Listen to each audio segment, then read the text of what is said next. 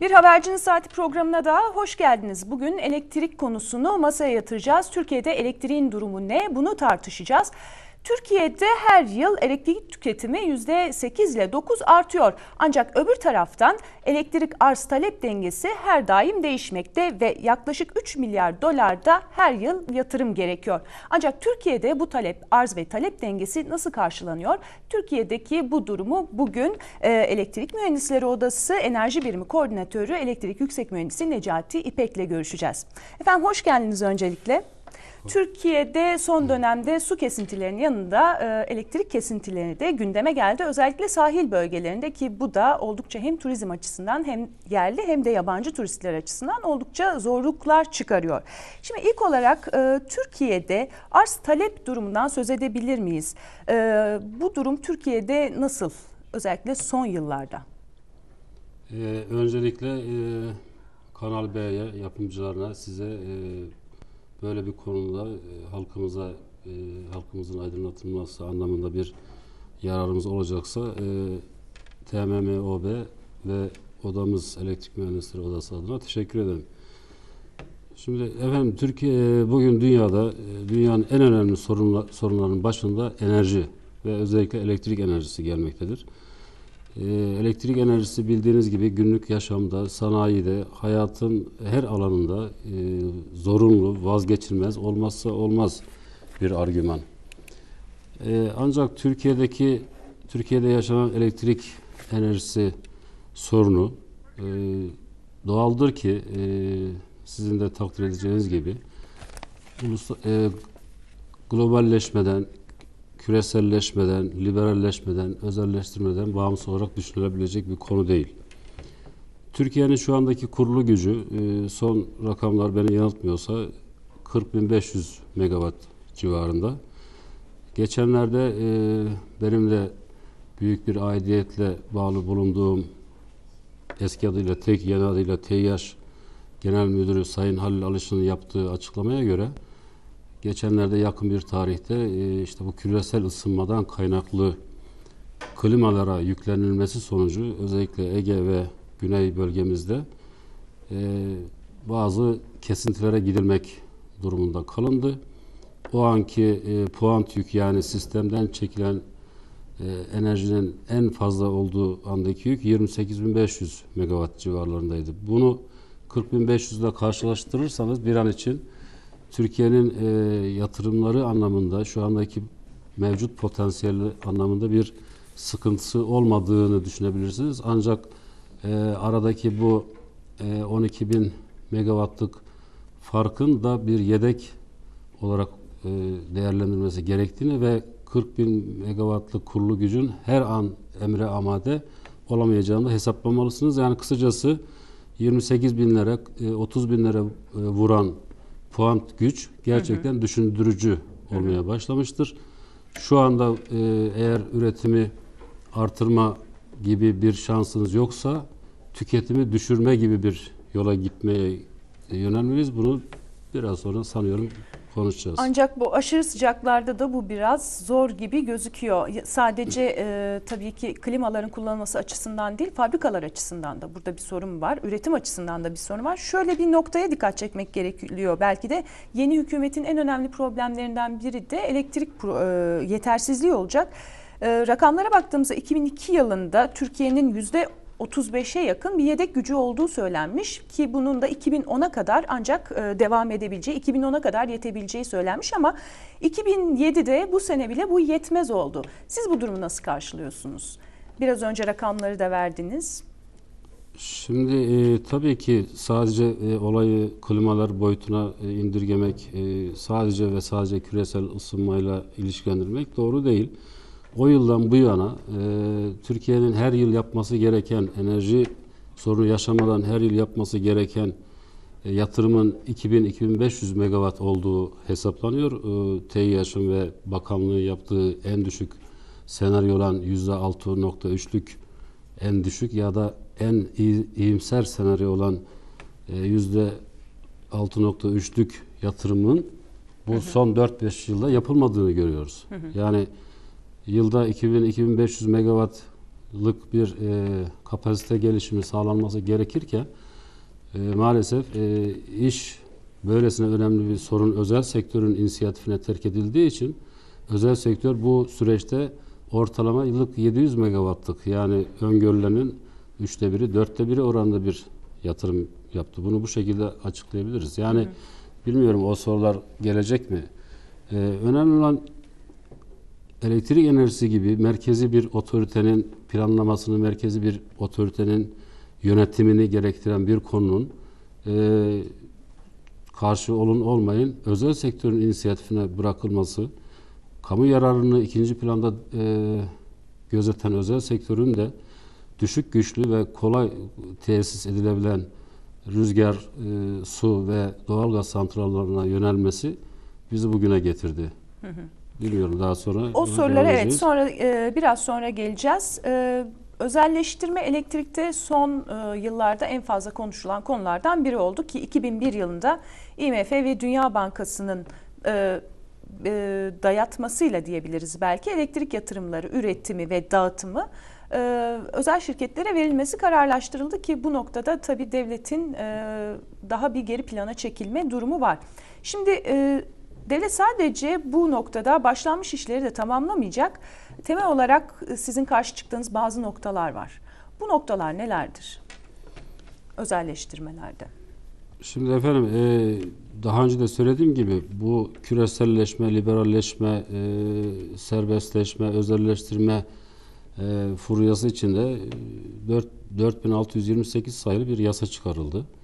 Bu yasaya göre kamunun e, şimdiye kadar yani 4 yıl öncesine 5 yıl öncesine kadar kamunun bizatihi kendi eliyle gerçekleştirdiği büyük güçlü su santralları, büyük güçlü termik santrallar e, yapımı engellendi. Kamu tarafından yapılması engellendi ve bu iş e, özel teşebbüsün, özel sektörün e, yatırımları arasında sözüm ona e, serbestleşme, e, özelleştirme kapsamında yatırımları arasında değerlendirmeye başlandı.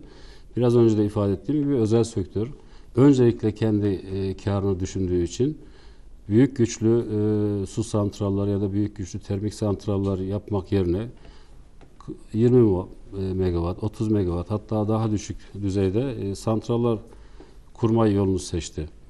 Şimdi e, elektrik enerjisi e, gerçekten insanların vazgeçilmez en doğal, yaşamsal e, gereksinimidir. Böyle bir gereksinimi siz e, özelleştirmeye e, bir takım kamu vicdanını rahatsız eden e, uygulamalar içine iterseniz yaşanacak olan şey budur. Bize bunu önerenler, bize bu dayatmayı yapanlar, Dünya Bankası, e, IMF gibi e, uluslararası sermaye kuruluşları e, Türkiye'nin kendi içinde bulunduğu özgür durumu bir yana bırakıp e, Avrupa Birliği ülkelerinin bile e, uygulamakta tan çekindiği, örneğin Fransa'nın IDF'i bizim eski tekimize karşı düşen Fransa'nın IDF'i ortadayken Türkiye'de bu tür dayatmalar e, bize çok doğru gelmiyor. Kaldı Peki ki Türkiye'deki noktada- pardon e, özel elektrik enerjisinin özelleştirilmesi ya da serbest piyasaya sunulması bir altyapıyı gerektirir.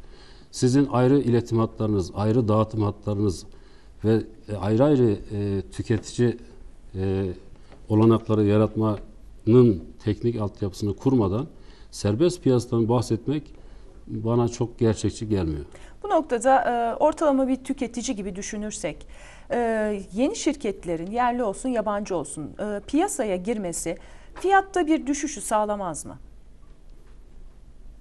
Sağlamaz çünkü e, serbest piyasa koşulları sağlanmadan sağlanamaz diyorum her şeyden önce.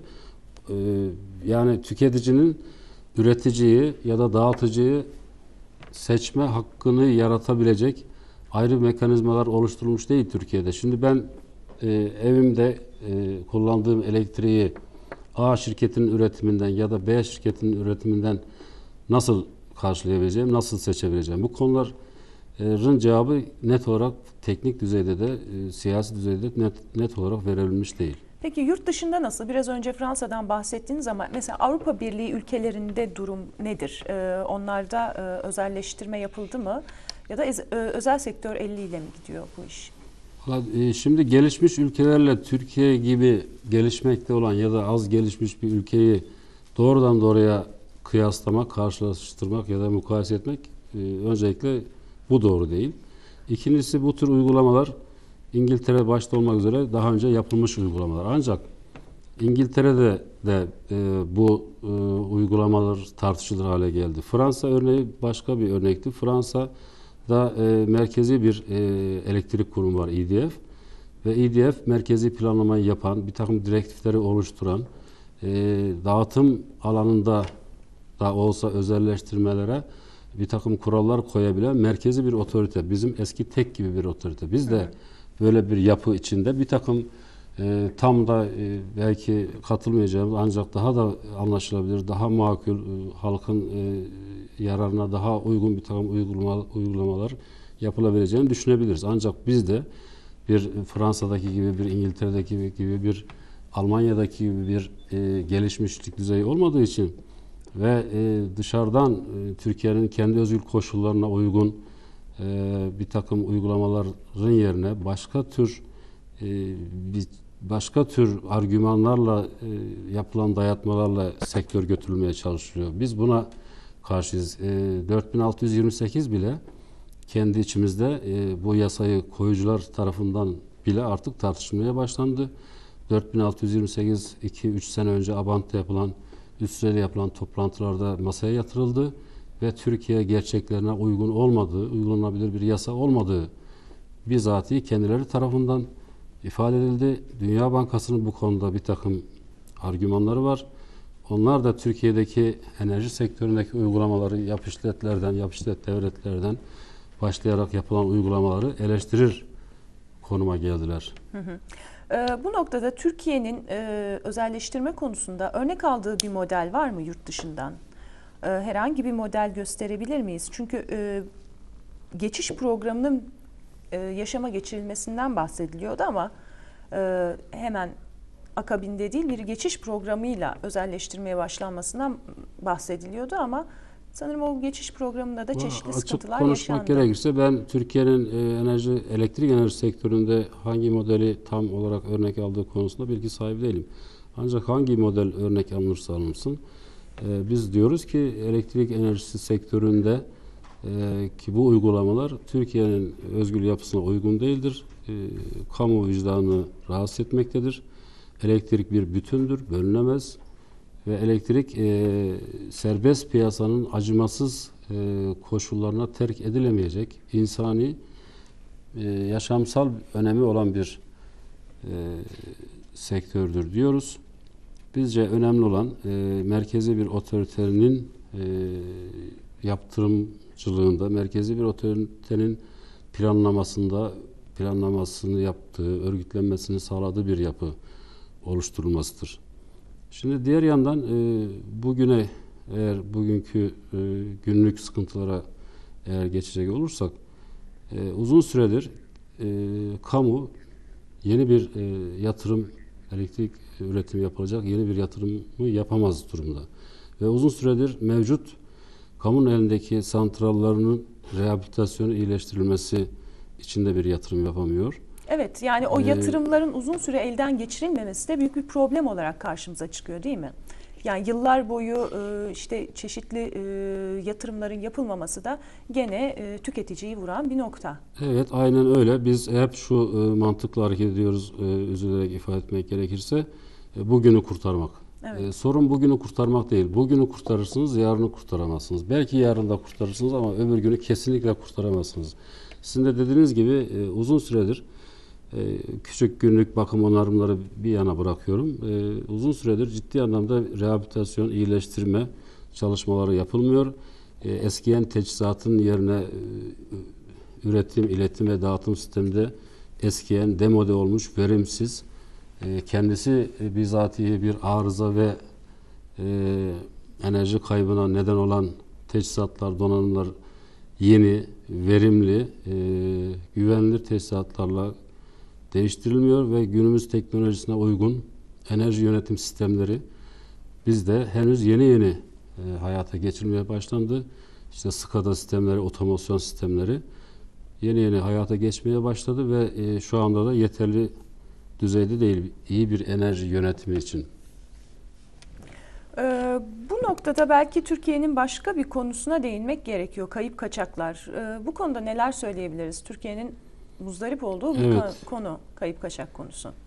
Türkiye'de e, gerçekten e, kayıp kaçaklar önemli bir sorun. E, kaçakların Güneydoğu Anadolu bölgesi, bölgesinde yoğunluklu olmak üzere kaçakların Türkiye enerji sistemi için önemli bir sorun olduğunu düşünüyoruz. Ancak bu sorun e, tabii sadece elektrikle ilgilendirilebilecek bir sorun değil. Toplumsal, sosyal bir sorun bu.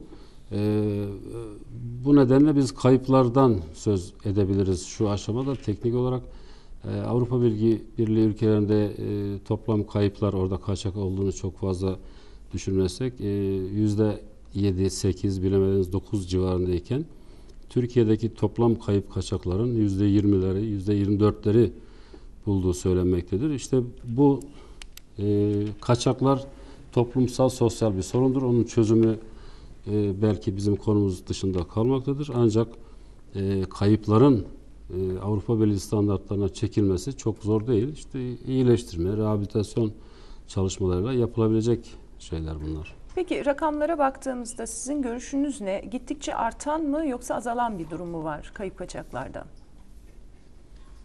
Şimdi tüketici tüketici sayısı arttıkça ya da elektriği kullanan e, sektörler çoğaldıkça kayıpların, kaçakların artacağı tabii e, hemen söylenebilir. Çünkü kayıpların e, en büyük nedenlerden bir tanesi de iletim hatlarında, dağıtım hatlarında e, e, kapasitenin üstünde enerji çekilmesi. Dolayısıyla işte e, teknik olarak dağıtım hatlarının, iletim hatlarının ısınması, ısınmaya bağlı olarak e, kayıpların arttığını çok basit bir şekilde hemen e, söyleyebiliriz. E, tüketim arttıkça buna bağlı olarak e, üretim tüketim dengesindeki kayıp kaçakların artacağını söyleyebiliriz. Gerekli önlemler alınmadığı takdirde. Bir başka nokta da e, örneğin e, özel sektörün elektriğe olan ilgisiyle e, ilgili bir soru. E, maliyet hesabının bilinmemesi. Yani maliyet hesabının açıkçası e, havada kalması nedeniyle özel sektöründe elektrik piyasasına girmekten çekindiği yol, e, şeklinde bir yorum var. Sizin e, görüşünüz ne bu konuda? Ben o görüşe e, çok katılamıyorum. E, özel sektör maliyetlerin bilinmemesinden çok ki e, özel sektörün ben e, rüz, resler, HES'ler, TES'ler, NES'ler ya da işte rüzgar, su, güneş, e, kömüre dayalı santralların yatırım ve işletme maliyetleri ne olduğunu çok iyi bildiklerini biliyorum. Onların esas üzerine durduğu şey bence ya da e, bizim e, odamızca oluşturulan görüş şu. e, özel sektör maliyetlerin bilinmemesinden çok ürettiği e, metanın, elektriğin diyelim bu noktada e, alım, alım garantisini bekliyor. Yani şu anda yap işletlerde bu model uygulanıyor. E, bu da e, biliyorsunuz kamuoyunu oldukça ilgilendiren bir konuydu. Elektrik enerjisi üretilip e, sisteme enjekte edilmese bile e, alım garantili anlaşmalarla sanki üretilmiş gibi o elektriğin parasını ödüyorsunuz. Günümüzde de bu tür e, dayatmalar var özel sektör tarafından. Ben santral kurarım, e, üretimimi yaparım ama sen bu üretimimi her noktada benden almak zorundasın gibi bir dayatma içinde. Son dönemlerde bu e, daha sıkça dile getirilmeye başlandı ve başlangıçta bu tür e, alım garantilerine karşı çıkan yap işlet yap işlet devlet modelli e, e, üretimleri ya da anlaşmaları e, doğru bulmadığını açıklayan hükümet bugünlerde tam tersine bu dayatmalardan sonra e, işte başka seçeneğimiz yok. Alım garantili anlaşmalar yapmak, özel sektörü özendirmeyi özendirmek gibi bir e, havaya tırnak içinde girmeye başladı. Peki bu ne kadar özendirici olabilir efendim? O çok iyi özendirici, ola- özendirici olabilir. O durumda ben e, birçok yerli yabancı e, sermayenin Türkiye'de e, yatırım yapacağına inanıyorum. Şimdi bunun bir örneği aklıma gelmişken geçen 1 Temmuz'da yaşanan bir olay vardı. Sistem oturması olmuştu Ege ve Güney bölgelerinde.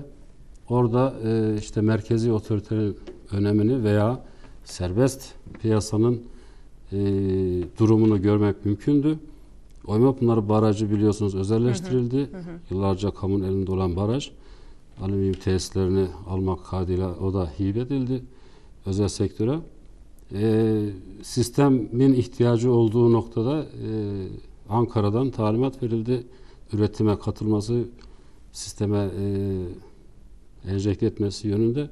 Ancak Oymapınar özel sektörü yetkilileri yok başlıklı kağıt diyerek e, o andaki e, pay yani o anda elektrik ücreti onlar için çok cazip olmadığı için sisteme e, üretimlerini enjekte etmediler. Bu da çok iyi bir örnektir.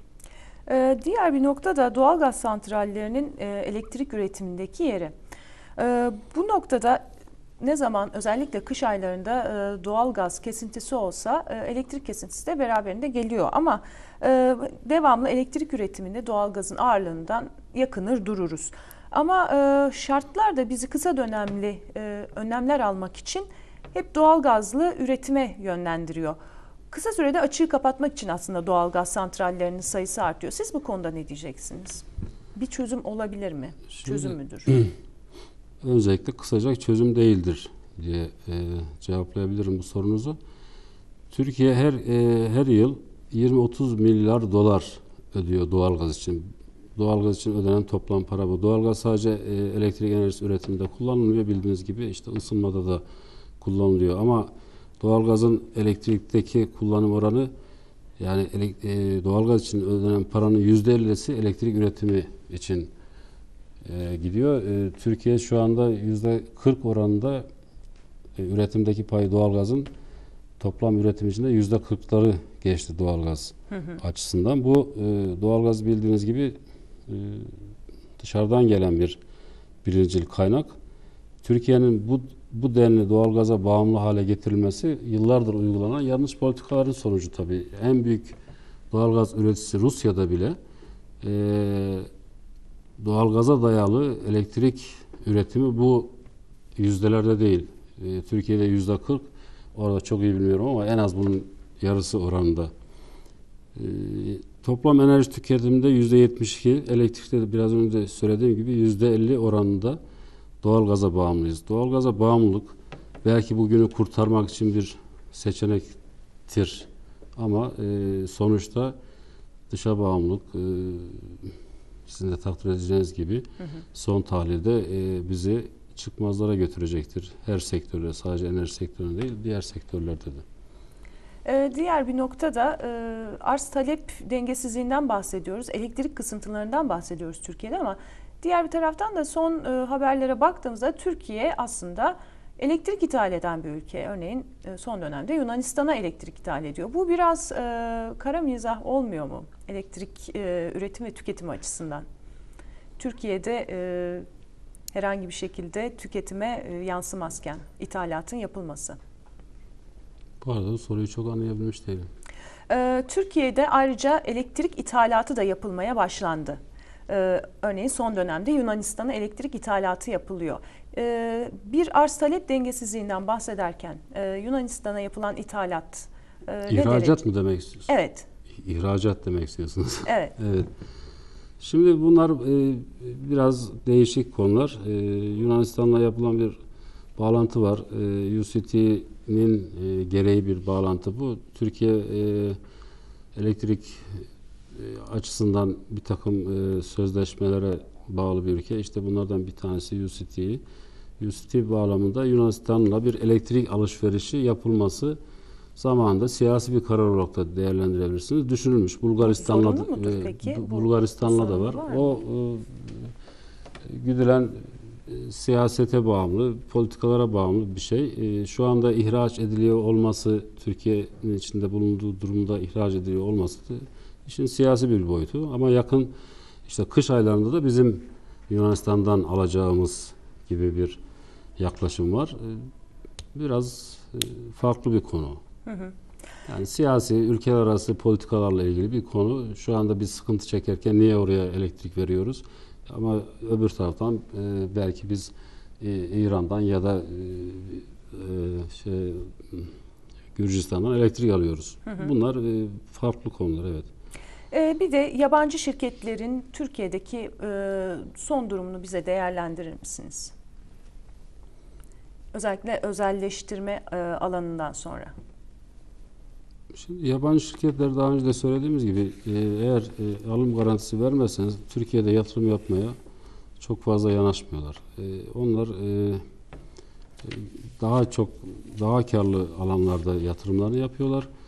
Ne bileyim e, elektrik üretim santralı kurmak, alım garantisi yoksa elektrik e, santralı kurmak yerine e, konu dışı olacak belki ama işte Lafarge e, firmasının gelip Türkiye'de çimento fabrikası satın alması şeklinde. Yani gelişmiş ülkeler e, şunu yapıyorlar artık günümüzde. Kendileri elektrik enerjisini tüketiği, tüketen sanayilerden giderek uzaklaşıyorlar.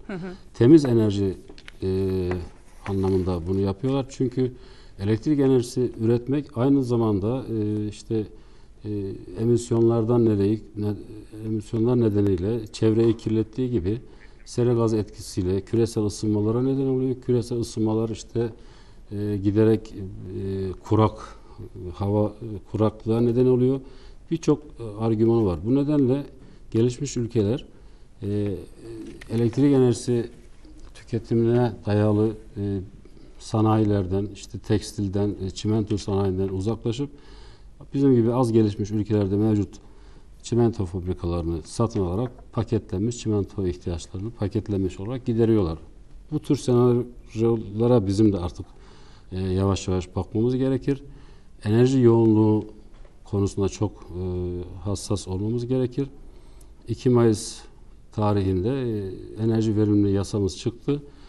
Bu yasanın hazırlanma sürecinde katkılı olan katkıları olan baş, e, başta elektrik işleri etüt dairesi olmak üzere diğer kamu kurum kuruluşlarına makine mühendisleri odasına, elektrik mühendisleri odasına teşekkür ederiz. Ancak Ona e, Bu- isterseniz evet. ikinci bölümde gelelim. Çünkü verimlilik konusu önemli bir konu. Bunu da ikinci bölümde e, ele alalım. Evet e, programımız devam ediyor. Reklamlardan sonra kısa bir aradan sonra tekrar beraber olacağız. Habercinin saatine tekrar hoş geldiniz. Konumuz elektrik ve elektrikteki son durum. Türkiye'de yaşanan son durum. Ee, konuğumuz Elektrik Mühendisleri Odası'ndan Enerji Birimi Koordinatörü Elektrik Yüksek Mühendisi Necati İpek. Efendim genel olarak Türkiye'deki son durumdan bahsettik, kesintilerden bahsettik, neden olduğundan bahsettik, özelleştirmeden de bahsetmiştik. O noktada siz e, e, enerji verimliliği ile ilgili e, bazı konulardan bahsediyordunuz ki Türkiye'de önemli bir konu enerji verimliliği. Bu konu hakkında söyleyebilecekleriniz nelerdir acaba? Şimdi şöyle e, elektriğin bol olup olmaması bir yana e, bugün gelişmiş Avrupa ülkeleri bile elektrikle ilgili bir sorunları olmayan gelişmiş Av- Avrupa ül- ülkeleri bile 2020 yılına kadar e, enerjide yüzde 20 tasarruf diyebileceğimiz e, bir politika uygulamaya başladılar. Elektriğiniz çok bol olabilir ancak e, biraz önce de söylediğimiz gibi ne kadar tüketirseniz o kadar üretmek gerekiyor. Ne kadar üretilirse e, işte emisyonlara neden oluyor, küresel ısınmalara neden oluyor. Bu ekonomik boyut ol- olmaktan çıkıyor. Artık dünyanın yaşamsal bir sorun haline geliyor. O nedenle e, arzı e, karşılamak, gü- güven, arz güvenliğini sağlamak tabii önemli ama arz güvenliğini sağlamaktan da önemli bence e, talebi kontrol altına al- alabilmek. Yani tüketilen enerjinin e, en iyi şekilde tüketilebilmesini sağlamak. Buna enerji yoğunluğu diyoruz. Yani insanın yaşam kalitesini düşürmeden e, enerji yoğunluğunu düşürerek e, aynı e, enerjiyle aynı yaşam düzeyini tutturmak enerji yoğunluğu. Peki Türkiye gibi gelişmekte olan ülkelerde bu e, ne kadar mümkündür?